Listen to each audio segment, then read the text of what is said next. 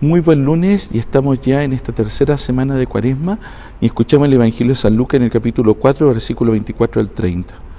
Cuando Jesús llegó a Nazaret dijo a la multitud en la sinagoga, les aseguro que ningún profeta es bien recibido en su tierra.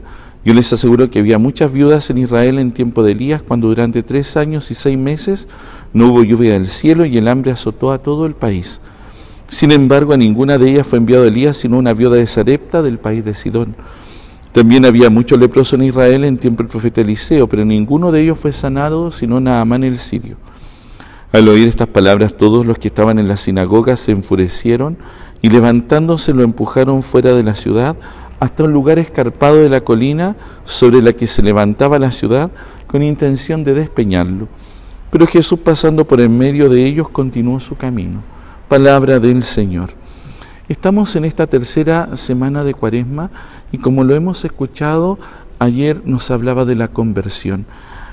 El pasaje del Evangelio está insertado, el que acabamos de escuchar, en esta entrada de Jesús en la sinagoga y donde anuncia que Él ha sido enviado a traer la salvación a los pobres, la liberación a los oprimidos y a los afligidos el consuelo.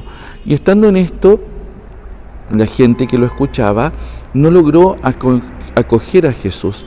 Y Jesús los invita primero a entrar en este corazón del Padre, de este Dios que mira al hombre en todo su ser, y pone la imagen de estos dos profetas, Elías y Eliseo, que le han hecho el bien a gente que no era del pueblo de Israel. Porque a veces nos puede pasar esto, sentir que Dios tiene que hacernos solo el bien a los que creemos en Él o hacer el bien a quienes participamos en ciertos grupos, en ciertas actividades. Dios es mucho más grande y puede hacer el bien y actuar en cada persona. La imagen de la viuda de Sarepta, una mujer que era pagana y que recibe este favor de Dios, donde no se acaba en su casa, en medio de la sequía, no se acaba el alimento, y la actitud de Naamán, Naamán que también era un pagano y que era leproso, y cómo el profeta Eliseo le concede Dios a través de él la sanación, cómo aquellos dos personajes que no pertenecían al pueblo de Israel reciben los beneficios y reciben la misericordia de Dios. Lo que está detrás del Evangelio de hoy día es justamente cómo nos abrimos a los demás.